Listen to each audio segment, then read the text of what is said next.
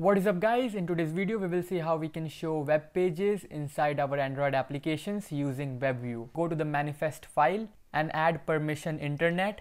If you are going to run this app on a device which is running on Android 9 then declaring the internet permission is not enough. You will have to set uses clear text traffic to true because in Android Pie it is set to false by default and WebView requires clear text traffic so set it to true if you are going to run this app on Android 9. Now go to activitymain.xml file and uh, prepare the required layout.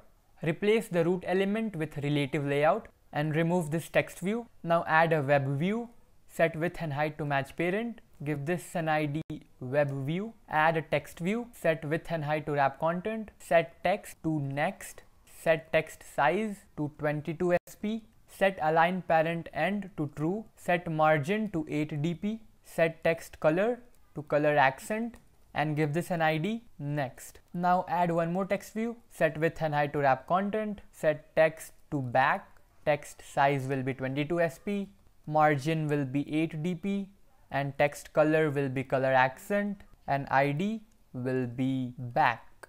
Now go to mainactivity.java file and have a reference to all the UI elements we have a web view, then we have a text view which is called next and we have one more text view which is called back and as soon as the application starts we will load a URL in the web view by calling load URL function of this web view object. We will load Google website now, if you have an application inside your mobile device which is capable of uh, handling the URL that you pass here, then that application will start and this URL will be loaded inside that application instead of your web view.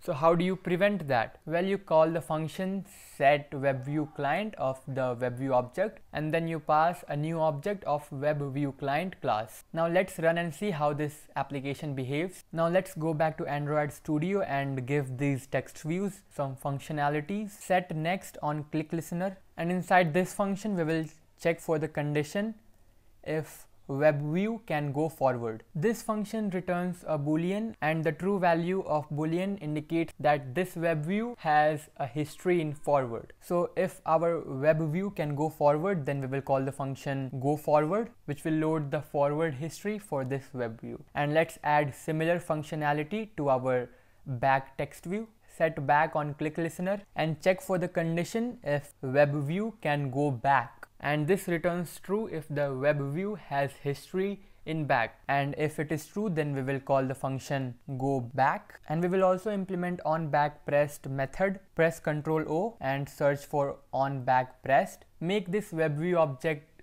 global so that we can access it from the on back pressed method so when back is pressed, then we will check for the condition if web view can go back. And if it can, then we will load the previous web page and then we will return from this method. Now let's run and test this. Search anything on Google.